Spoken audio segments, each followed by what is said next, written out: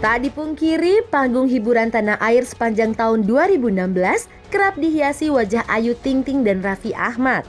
Keduanya tak putus melahirkan berita yang menghebohkan masyarakat. Namun mental sebagai artis tak membuat keduanya pusing. Mbak Anjing menggonggong kafilah tetap berlalu. Gosip kedekatan spesial Ayu dan Raffi tak digubris dan hilang begitu saja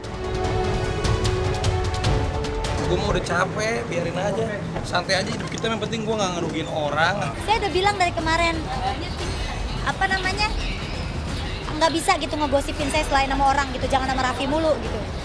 Jadi buat saya saya sih biasa ya ngadepin kayak begini gitu masuk kuping kanan keluar kuping kiri. Karena saya ngerasa ya udah nyantai aja. Saya juga saya Gigi Raffi tuh udah pernah makan bareng juga. Jadi kita emang mau ada bisnis bareng. Jadi buat saya ngeladenin mulut-mulut haters di luar sana yang percuma jadi saya nggak peduli. Iya jadi memang nggak ada apa-apa gitu. Biasa. Jangan nanya saya mulu tanya langsung ke Gigi sama Raffinya Meski hingga saat ini belum teruji kebenaran cinta terlarang itu, nyatanya rangkuman berita mereka berdua selama di tahun 2016 menoreh catatan panjang di ranah hiburan.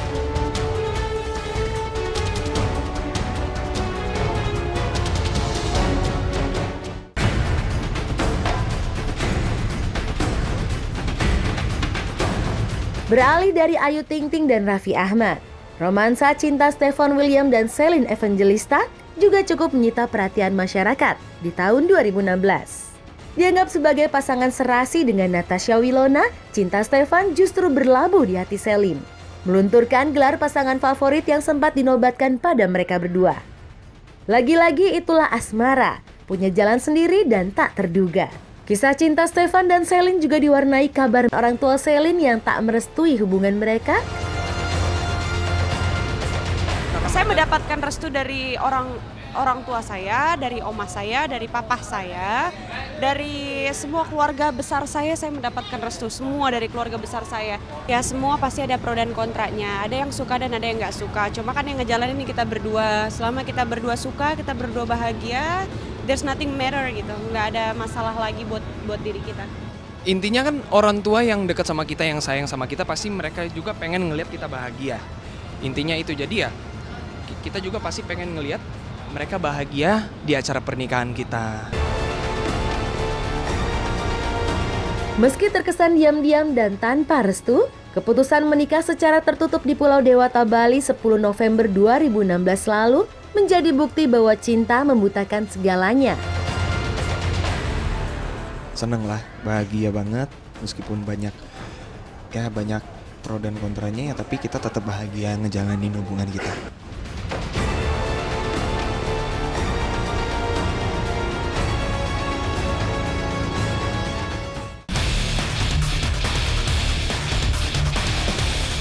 Kabar mengejutkan juga datang dari presenter Asti Ananta pasca pernikahan diam-diam dan tak pernah tercium kisah asmaranya.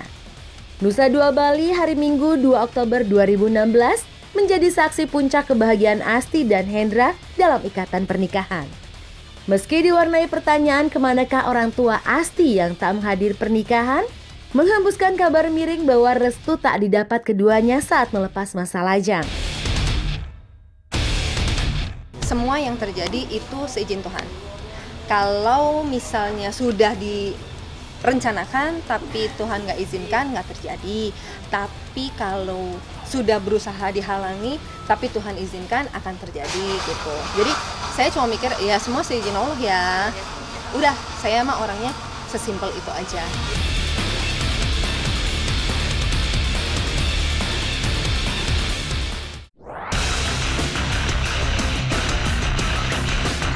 Tahun 2016 juga diwarnai hembusan berita tak sedap. Kali ini datang dari komedian Tukul Arwana. Tak berselang lama pasca kepulangan istri tercinta menghadap Sang Maha Kuasa, Tukul dikabarkan telah menikah lagi dengan pedangdut cantik Maggie Diaz. Unggahan status Maggie di media sosial dengan kata-kata miss you sobat membuat tanya ada apakah sebenarnya di antara mereka berdua. Sebetulnya kalau saya boleh jujur ya mbak ya saya kan masih masih sering kerja bareng sama beliaunya. Sempat ada pertanyaan gini mas nggak mau diwawancarai apa berdua sama aku? Ya kalau ada yang berani bayar saya saya mau gitu. Berarti kan dalam artian uh, beliaunya itu nggak kepengen di antara aku dengan pihak lain tuh ada yang satu dirugikan satu diuntungkan. Jadi bisa sama-sama saling menguntungkan. Kalau aku lihat aku petik dari omongannya beliau sih seperti itu gitu cuman pengen tahu aja mas kalau ada yang ngundang kita ya mau aja. Kalau ada yang berani bayar saya saya mau aja gitu